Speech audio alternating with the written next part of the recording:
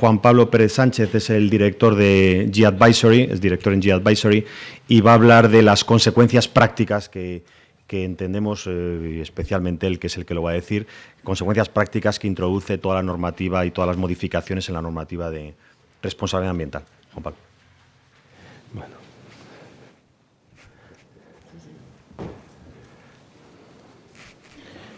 Buenos días. Este formato, eh, que es lo que se lleva ahora, yo debo estar haciéndome mayor porque no, me veo sentado en el, como en el sofá de mi casa hablando para un auditorio tan selecto como ustedes. Así que me van a perdonar, pero lo voy a hacer también desde la TRIL.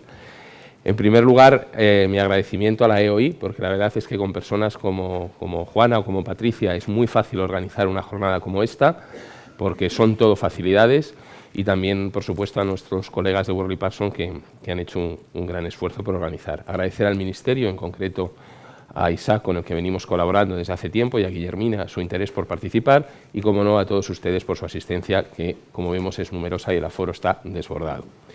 Bien. Mm, quiero hacer, para empezar, una se me ha ocurrido, ¿no?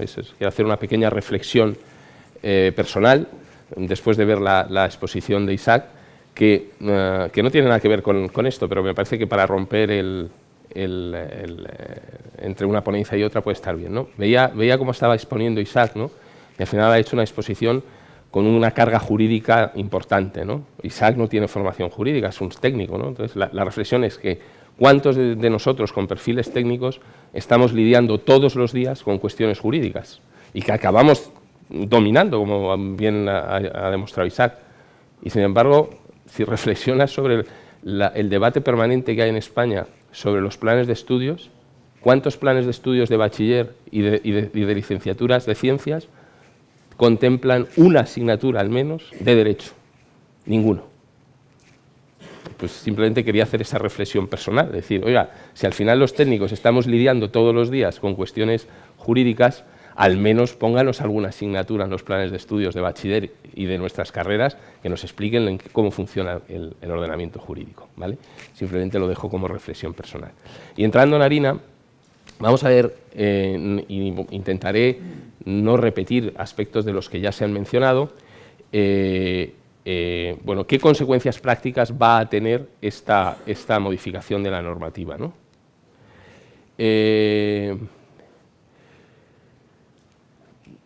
Esto, eh, casi todo ya se ha dicho. Al final lo que se hace es una exclusión muy grande de un gran número de actividades y la filosofía que está detrás de eso ya lo expuso la directora general, que es eh, que tal y como está en la actualidad el anexo 3, pues entraría mm, todo el mundo, porque todo, cualquier instalación, por pequeña que sea, pues tiene productos, productos eh, tóxicos y peligrosos almacenados, etcétera, etcétera, y era un poco un sinsentido que esto la aplicase a cualquiera. ¿no?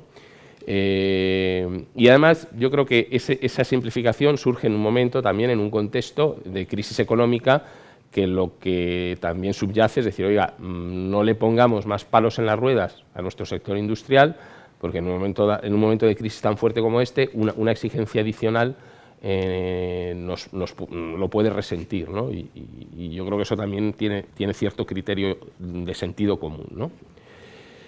Eh, como bien explicaba Isaac, además eh, ya es una declaración que hace de, haber hecho su, análisis de riesgos a la Administración. Yo entiendo que aquí, Isaac, las comunidades autónomas os habrán presionado porque no querían tanta, responsabilidad a la hora de, tener que ser ellos lo que decidían si esa garantía estaba bien o no, pero, yo creo que desde el punto de vista de la, de la, simplificación del trámite administrativo es una buena iniciativa. Eh,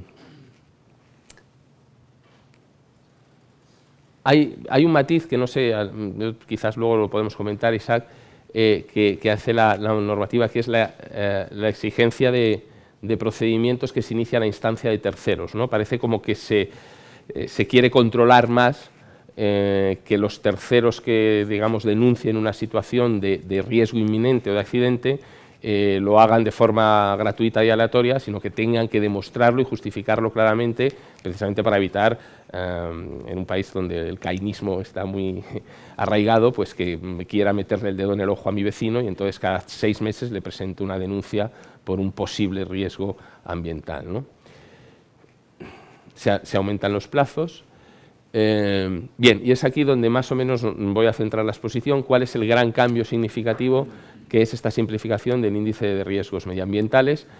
Eh, eh, entonces, ¿esto qué, qué, nos va a suponer? Esto ya es una modificación del Real Decreto, no de la ley. ¿vale? Como decía Isaac, primero tenemos que identificar los escenarios accidentales y establecer la probabilidad de ocurrencia.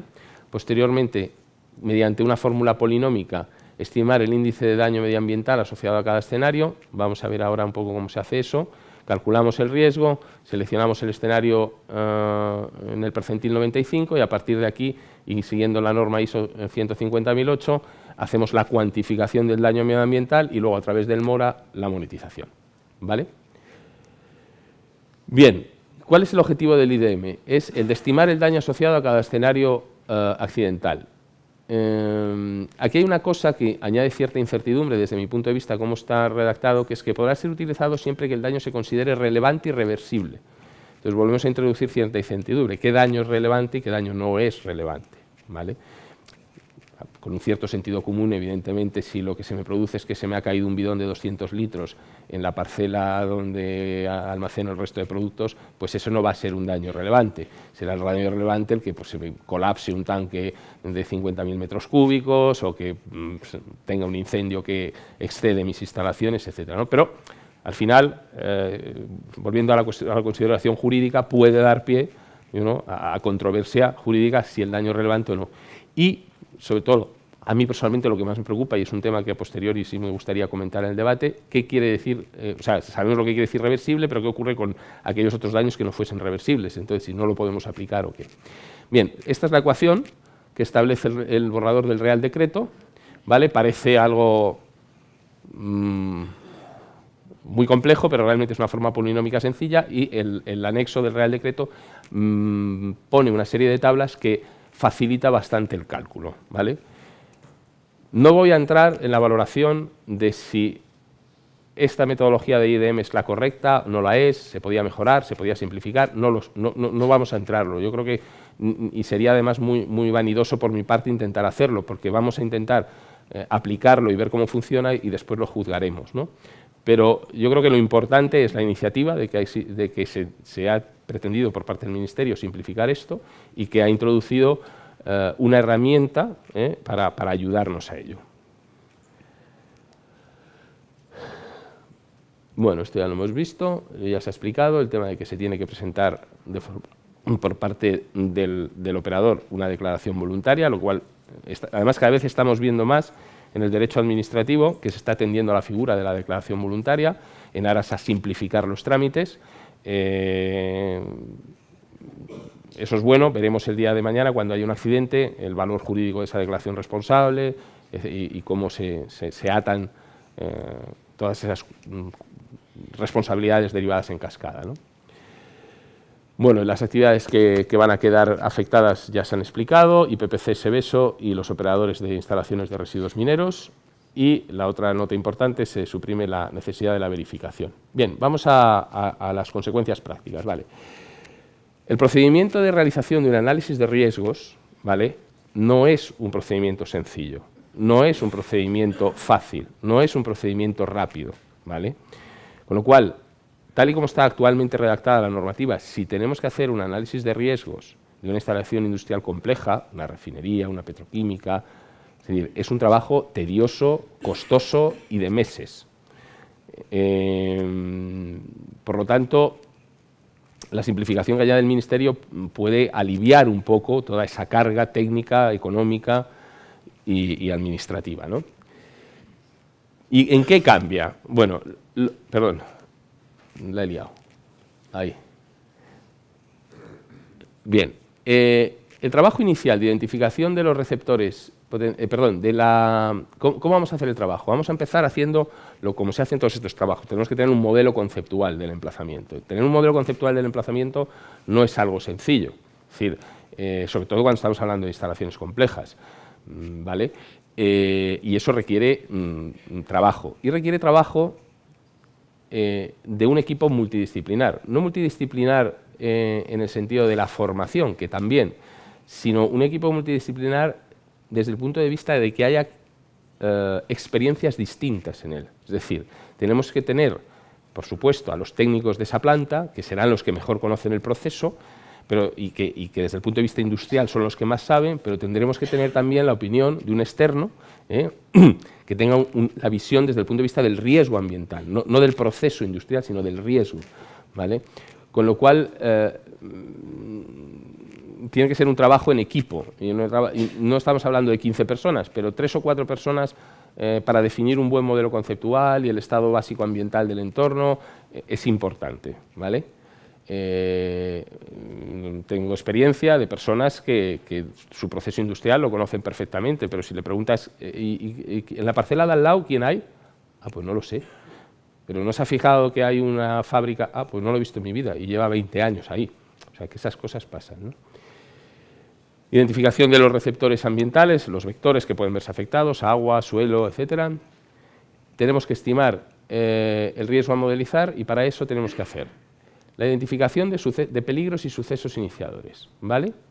Y a partir de esos sucesos iniciadores postular, escenarios accidentales. Esto no es fácil, esto lleva tiempo, esto hay que sentarse, eh, hay que identificar, listar toda una serie de peligros, de ahí identificar los sucesos iniciadores y de ahí cribarlos, ¿vale? Ponemos ejemplo, una, una, de las tablas que nosotros usamos de base, esto es la ISO 150.008, tenemos que ver todos estos aspectos, ¿vale?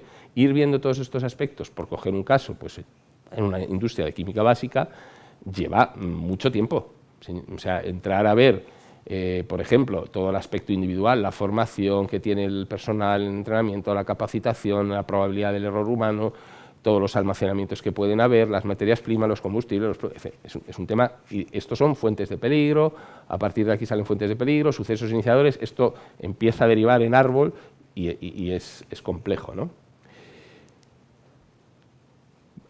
Entonces, la, simplificación que añade el IDM es, porque eh, tenemos que identificar esos escenarios de riesgo, es decir, esa parte no nos la quita nadie, la del suceso iniciador y construir el árbol hasta llegar al escenario, y tenemos que asignar la probabilidad, que esta es la parte más complicada, desde mi punto de vista, de todo el proceso. Luego nos explicarán eh, Miguel Ángel y Mariajo cómo, cómo hacerlo, ¿vale? Pero, pero, llegar a eso es, realmente complicado y hay mucho trabajo. Eh, lo que el índice de daños medioambiental nos va a aliviar es toda la parte de la modelización que habría que hacer de todo el mecanismo del accidente, ¿vale? Porque para, para llegar a un escenario accidental y, cuantificar las unidades biofísicas antes de la modificación del reglamento, tendríamos que modelizar cómo iba a funcionar ese hipotético accidente a través de herramientas y eso es muy tedioso y muy complejo. Lo que nos va a simplificar el IDM es que eso solo lo vamos a tener que hacer una vez y no 70 o 80 en función de los escenarios. ¿Vale? Y es esto de aquí. Decir, el cálculo sobre los receptores de consecuencias de mediante la utilización de modelos de simulación de comportamiento del agente causante del daño. Esto es lo que nos va a aliviar eh, el IDM, ¿vale? Y, yo creo que va a quitar bastante trabajo, y, es bueno. En, cualquier caso, sigue, sigue habiendo bastante trabajo a la hora de hacer el análisis de riesgos de una instalación, ¿vale? Eh, Todo eso, como saben, al final el proceso termina en las unidades biofísicas afectadas y nosotros lo que hacemos con las unidades biofísicas es monetizar. Aquí la monetización ya saben que es a través del MORA. Vuelvo a hacer otra reflexión, es decir, eh, he oído todo tipo de opiniones respecto al MORA. Pensemos, esto también es una reflexión, es decir, estoy seguro que el MORA es mejorable, que el MORA mm, tira de bases de datos que a lo mejor no están muy actualizadas pero es lo que tenemos y por lo menos establece un criterio homogéneo para todos, es decir, establece una misma regla del juego para todos. Eh, y yo creo que, eso también es positivo, independientemente, insisto, de que puede ser mejorable o no, pero en un, en un trabajo en el que estamos todos aprendiendo, en el que España está siendo uno de los países más pioneros a nivel de la Unión Europea en la implantación de la directiva. Creo que el Mora, con todos sus defectos y sus fallos, Mm, añade por lo menos eh, una cierta homogeneidad y una cierta certidumbre. ¿vale? Y en este sentido yo creo que el Ministerio ha hecho un grandísimo esfuerzo, no solo, no solo eh, eh, económico, sino en tiempo de personas dedicadas a ello. ¿vale? y, por lo tanto, bueno, una vez que, volviendo otra vez al procedimiento, una vez que hemos, hemos hecho todo el análisis de riesgos eh, para ese escenario que supone el percentil 95 del daño ambiental y hacemos el cálculo del coste de reparación, hay que añadirle los, gastos de, los costes de prevención y, reparación, que se estiman aproximadamente en un 10%, eh, los costes de, perdón, de prevención y de evitación, y ese sería el monto de la garantía financiera a través de la cual eh, nosotros iríamos a la comunidad autónoma y presentaríamos la, declaración voluntaria. ¿vale? Y, he, sido muy sencillito y muy cortito, no sé si muy claro, eh, pero lo que como reflexión final, pues eh, insistir en que la realización de los análisis de riesgos en instalaciones industriales no es algo sencillo, la modificación que va a introducir el reglamento con el IDM va a simplificar la carga de trabajo, pero, pero aún así es un trabajo complicado, tedioso, que requiere de tiempo, de especialistas de diferentes ámbitos y, de meses de trabajo y que lo que se ha de, lo que entre todos hemos ido desarrollando estos años, eh, bueno, pues eh, yo creo que es positivo, e insisto que al final es un tema en el que estamos todos eh, aprendiendo, siempre hay gente que sabe más, otros que saben menos, otros que sabemos menos, pero, pero entre todos estamos yo creo que haciendo algo razonable. Y por mi parte nada más y a su disposición o bien para preguntas ahora o si no ya lo que decida el moderador. Bueno, Yo no sé, me parece que había un micrófono por ahí al fondo. Eh, la organización, si lo tenía, porque yo creo que sí, que tenemos diez minutitos para ir perfectos en, el horario y a las once y cuarto hacemos este, este descanso que habíamos estipulado. Eh, creo que es una oportunidad muy buena. Así que no sé si está por ahí el micrófono este para ir pasándolo a eh, Nerea o Nerea, por favor, o, sí. Si hay alguna pregunta. Un momentito que le van a pasar el. Aquí hay un señor, Nerea, aquí a la izquierda.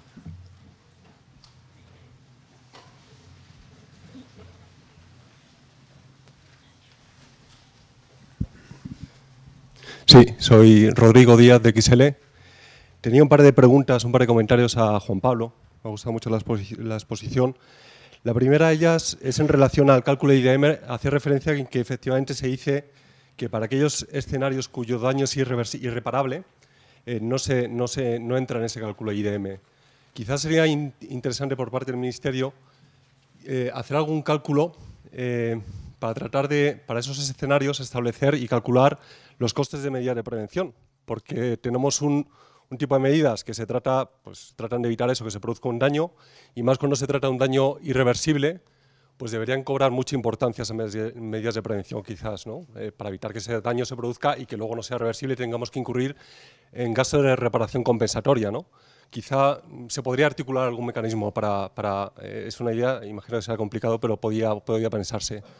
Y la segunda, la segunda, el segundo comentario es en, relación al Mora. Estoy de acuerdo en que hay un trabajo ingente por parte del Ministerio, por parte de, de, la Administración, del sector privado, eh, estoy de acuerdo en que establece un criterio homogéneo y certidumbre, eh, quizás para todos menos para los aseguradores, el sector en el que estoy yo. Es decir, sí es un criterio homogéneo para la gente que hace análisis de riesgos, pero luego eh, es posible que los riesgos, cuando se produce el siniestro, el, cálculo y las cuantías que salen en ese, en ese análisis de riesgos no se, no se parezcan mucho a la realidad. Entonces, quizá ahí nosotros somos un sector en que tenemos esa incertidumbre con relación al análisis de riesgos y, al Mora? Yo creo que lo primero es más bien para, para Isaac, la pregunta más bien la primera. Bueno, eh, comentar, eh, recogemos la, la, sugerencia y lo, analizaremos. Ya lo ha apuntado Juan Pablo en su intervención. Eh, ¿Por qué solamente se, tienen en cuenta en el cálculo del IDM o solo se puede utilizar el IDM para escenarios o accidentes, daños no que no sean irreversibles, porque lo que el IDM lo que da es un coste medio de reparación de un, daño. Entonces, si es irreversible, no se puede reparar. Entonces, evidentemente, por lógica, no se puede utilizar. Es cierto que mm, también en la redacción vigente que hay ahora en el, en el, en el reglamento con el tema del cálculo del 95%, eso estaba introducido en, la, legislación para eh, desechar riesgos eh, desproporcionados. Mm, en general, no es que eh, sea muy habitual que un, daño sea irreversible. Pero y también hay que tener en cuenta que lo que estamos haciendo es calcular la cuantía de la garantía financiera obligatoria que cubre la reparación primaria y luego ahí se le aplica un porcentaje, es cierto, y, ahí pues le daremos una vuelta a lo, que comentas, eh, se le aplica un porcentaje que por, defecto es el 10% a los gastos de prevención y evitación.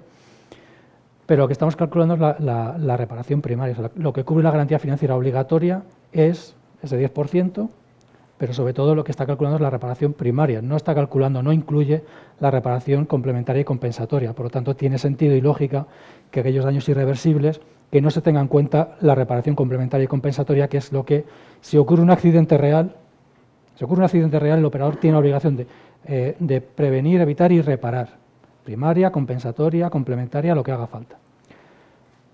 Pero lo que estamos haciendo aquí es facilitar el cálculo de la eh, cuantía de la garantía financiera que cubre la reparación primaria.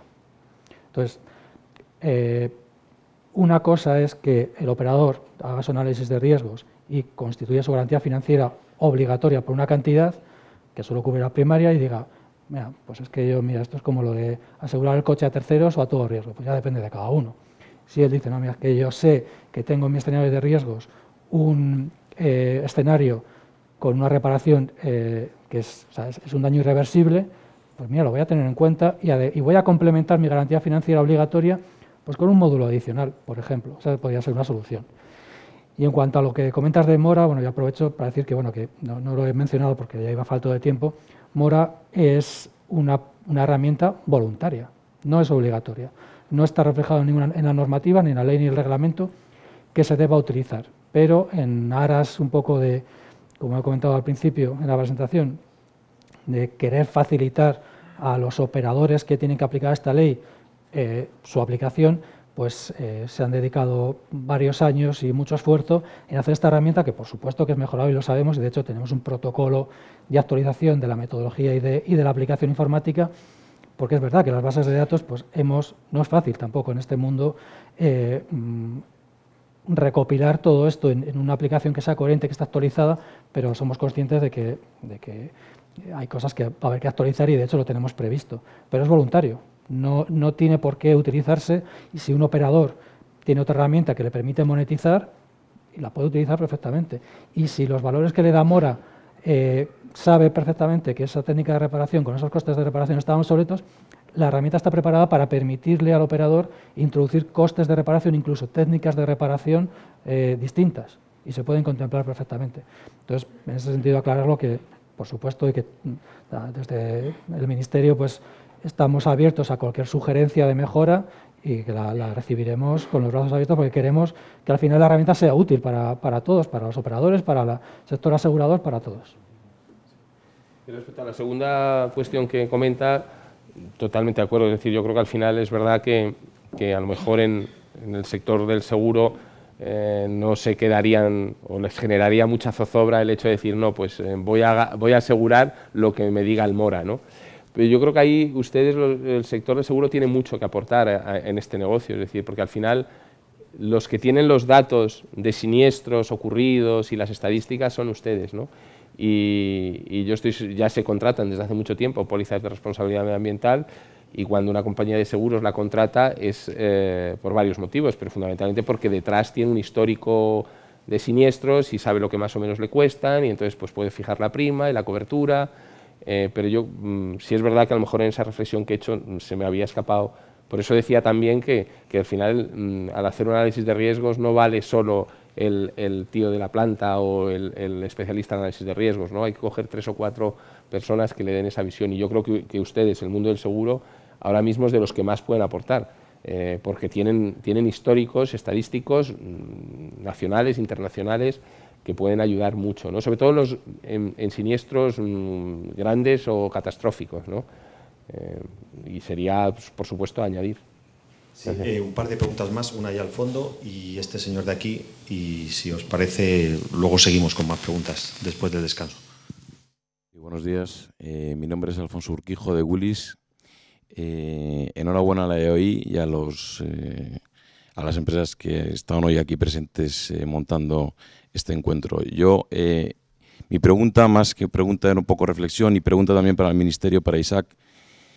Estamos viendo cómo entre las comunidades autónomas hay discrepancia en la aplicabilidad de la norma eh, hemos visto cómo a determinados clientes se les inicia un procedimiento de exigencia de responsabilidad ambiental y en la ponencia que, nos ha dado el Ministerio, Isaac, en este caso, eh, hablaba de lo complejo que es determinar la significatividad del daño.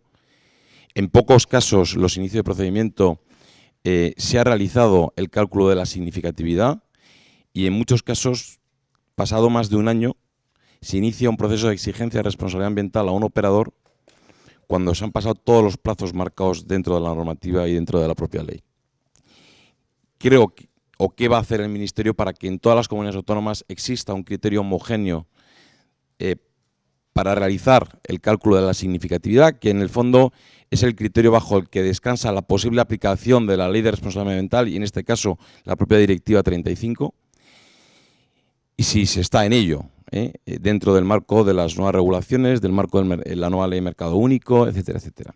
Y por otro lado, respecto al tema de eh, quiénes son las empresas que van a quedar obligadas a la constitución de garantía financiera, yo creo que habría que aclarar lo que es quiénes van a quedar obligados a la constitución de garantía financiera o quiénes van a quedar obligados a la realización de análisis de riesgos y por ende calcular si dentro del percentil 95 quedan sujetos al ámbito de exigencia de obligatoriedad de garantía financiera, porque habrá muchas instalaciones que dentro del marco de exención, cuando apliquemos el percentil 95, eh, muchos de los supuestos escenarios eh, y su posible monetización queden por debajo de esos umbrales de los 300.000 o de los 2 millones de euros, por lo cual dentro de la cifra de los 10.000 operadores que puedan quedar sujetos, que antes ha dado el Ministerio, a constitución de garantía financiera, a lo mejor nos encontramos con la casuística de que solamente quedan sujetos a constitución de garantía financiera obligatoria de esos 10.000, 3.000, ¿no? No sé si en esto eh, ha caído el Ministerio. Nada más, muchas gracias. Sí, pues sobre la primera pregunta, eh, como he comentado en la ponencia, eh, en la breve presentación, esta ley es de, aplicación básicamente autonómica. Es, es la Administración autonómica quien tiene la eh, competencia para incoar expedientes de responsabilidad medioambiental y eh, solamente la Administración General del Estado, cuando se causan daños exclusivamente a bienes de titularidad estatal, es la, Administración General del Estado quien incoa el expediente. Si eh, mm, ocurre un daño que afecta a varias comunidades autónomas o a una comunidad autónoma, la Administración General del Estado, siempre con el procedimiento pues, tiene que ser único, evidentemente, eh, es eh, bueno, una cooperación con las distintas administraciones que tengan bienes, digamos, afectados y ahí se trata pues, bueno, de, hacer, bajo los principios de cooperación administrativa, que sea de la forma más, más coherente. Em, el tema de la significatividad, pues el tema de la significatividad, ya lo he apuntado, es un tema clave, pero es un tema clave no solo en la ley, es un tema clave en la directiva. Y la directiva lo que hace es eh, remitir, al igual que la ley, a la legislación sectorial. Por ejemplo, en el caso de aguas, lo que dice es que un daño será significativo cuando el daño provoque un cambio del estado de la masa de agua. Bueno, pues es que eh, para calcular o determinar si la masa de agua ha tenido, conforme a la ley de aguas, o en este caso en nuestro país, eh, un cambio del estado, pues hay unos indicadores físico-químicos, hidromorfológicos, ecológicos, pues evidentemente habrá que hacerlo conforme a esa normativa. Y varía también, es que depende de una demarcación hidrográfica a otra demarcación hidrográfica. La legislación medioambiental es compleja y no es sencillo. En la legislación de suelos pues, se remite a, también, en la ley de responsabilidad medioambiental remite a la legislación de suelos que da unos criterios. ¿Qué estamos haciendo en el Ministerio para tratar de homogenizar? Pues estamos haciendo una guía, que es una, va a ser una guía no vinculante, como no puede ser de otra manera, que eh, apoye o que trate, un poco de aclarar un procedimiento para la determinación de esta significatividad. Pero, evidentemente, tiene que ser mm, una, va a ser una guía no vinculante porque no, digamos que no podemos estar por encima de lo que dice la legislación de aguas, por ejemplo. Entonces, mm, eso es lo que estamos tratando de hacer. Dentro de todo eso, pues, eh, pues es posible que dentro de, de distintas comunidades autónomas pues eh, se está haciendo las cosas pues como mejor se sabe. Y en la comisión técnica tratamos de dar apoyo y entre todos darnos apoyo, todas las administraciones, para ir de una forma coherente y aplicar la, normativa de una forma pues, eh, similar o, igual en todas las comunidades autónomas. Pero evidentemente nosotros como Ministerio, desde el respeto a las distintas eh, eh, administraciones autonómicas, no podemos imponer nada, ni se nos ocurriría además. entonces, pues lo que podemos hacer es, lo que, lo que comento, proponer unos, unos criterios, unas guías para definir la significativa. Pero es verdad que es que no es sencillo. Ya nos gustaría mm, poder eh, tener una, una, ecuación que diga esto es igual a significativo, esto no es significativo. Pero no es que lo tengamos, no lo tengamos claro nosotros es que ni siquiera en la Comisión Europea, en la directiva, sea clara. Nosotros hemos propuesto en, el grupo de trabajo en el que participo de la Comisión Europea, eh, que participan Estados miembros, de, vamos, representantes de todos los Estados miembros, hemos propuesto esto, que la, que la Comisión pues, no sé, haga también alguna guía de tipo mm, orientativo, incluso que se involucren eh, eh, representantes de, de, la Comisión de la legislación de aguas, de suelos, para tratar un poco de homogeneizar criterios y que se aplique de forma homogénea no solo en España, sino en toda Europa, porque tampoco tendría sentido que aquí se pidiese una cosa y en Alemania se pidiese otra o se determinase de otra manera. Pero dentro de esa flexibilidad que, el término significativo, que es un poco la piedra angular de todas las legislaciones ambientales, el término significativo se utiliza pues, bueno, pues para dar manga ancha y tratar de hacer flexible, eh, articular la implementación de la normativa medioambiental pues dentro de eso tratamos de que haya ciertas pautas similares y luego ya es cada administración quien lo, quien lo lleva a cabo. Y la, había una segunda pregunta que acabo de, olvidar. Eh, vinculada al criterio de, analizar o, transmitir la idea de que quienes van a quedar sujetos a ah, garantía financiera obligatoria eh, o análisis de riesgos, ¿no? mejor dicho. Pues como he comentado, quedarán obligados a realizar análisis de riesgos. La, la, realización de análisis de riesgos medioambientales queda vinculado a la realización de, constitución de garantía financiera. Es decir, aquellos que no queden exentos tienen que hacer un análisis de riesgos medioambientales, esos 10.000 de los que he hablado. Y PPC, SEBESO y balsas mineras de categoría A del Real Decreto, que nunca consigo aprenderme. Y em, esos tendrán que hacer su análisis de riesgos y si a partir de ese análisis de riesgos con el procedimiento simplificado se, se, ve que el riesgo potencial está por debajo de 300.000 o de 2 millones de euros, no tendrá que constituir garantía financiera, sí que tendrá que presentar una declaración responsable, va a haber como dos declaraciones responsables. Una, para aquel que eh, mm, realice el análisis de riesgos y tenga que constituir garantía financiera, la presenta, y el que realiza su análisis de riesgos y queda por debajo de ese umbral y no tiene que constituir garantía financiera, presenta otra declaración responsable diciendo que ha hecho su análisis de riesgos, pero que le ha salido por debajo de 300.000 o 2 millones de euros. Y ahí insisto en que se habilita a la Administración Autonómica a eh, se pasa del control a priori con la verificación actual al control a posteriori, pudiendo solicitar a ese operador el análisis de riesgos que demuestre que se ha hecho correctamente y que la cuantía de la garantía financiera es acorde con el análisis de riesgos. Y es posible que queden, evidentemente, esos 10.000, no sabemos cuántos van a poder quedar finalmente incluidos. Vale, eh, es breve la pregunta. Vale, dice que sí. Muy buenos días a todos. Yo soy Pablo Albuena de la empresa Mercadona S.A. En primer lugar, bueno, sumarme la enhorabuena por estas jornadas que desde luego pues, son interesantísimas. En primer lugar, me gustaría preguntar, uno, eh, ¿en qué ha cambiado o qué ha cambiado para que la garantía financiera no fuera exigible y ahora sí lo sea? Si no acabo de ver por qué, qué ha cambiado para que, para que ahora sí lo sea. Y en segundo lugar, pues desde el punto de vista también de Mercadona, que tiene pues un cierto volumen, pero no obstante, a, su vez está repartido en, pues, en supermercados, es decir, no sé si el supermercado, es decir, el análisis nosotros lo teníamos que hacer a nivel global, a nivel supermercado, a nivel bloque logístico, lógicamente almacenamos, como decía pues el representante de G-Advisory, eh, pues cualquier no almacena lejía o cualquier empresa autónoma, o sea, tienda automarinos se almacena productos que pueden ser eh, peligrosos. Es decir, en una empresa de una actividad tan concreta, pero de un volumen tan grande, es decir, cómo tendríamos que enfocar este, este asunto de, ver si estamos en la garantía financiera o no. Muchas gracias. Bueno, pues, tratando de ser breve, para que no se enfade. Eh, en primer lugar, eh, a ver, la directiva, como ha comentado mi directora general, no es obligatoria en la, en la, en la, o sea, la garantía financiera no es obligatoria en la directiva de responsabilidad medioambiental. Solo ocho Estados miembros optaron por una garantía financiera obligatoria. Y de esos ocho Estados miembros, la mayoría no la instalaron para todos los operadores del anexo 3. instalaron para actividades IPPC, por ejemplo, en Hungría, eh, mm, eh, otros países, otros Estados miembros, además han, adoptado la estrategia de, implementarla también gradualmente, como, como, es nuestra, nuestra intención.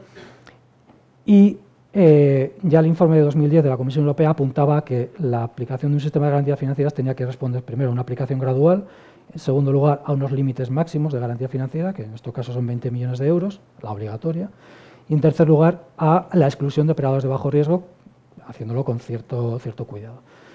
Entonces, eh, ¿Qué ha cambiado? Pues hombre, yo creo que el contexto económico es lo que más ha cambiado. Eh, la ley de 2007 pues, eh, surgió en un contexto económico bastante distinto al actual.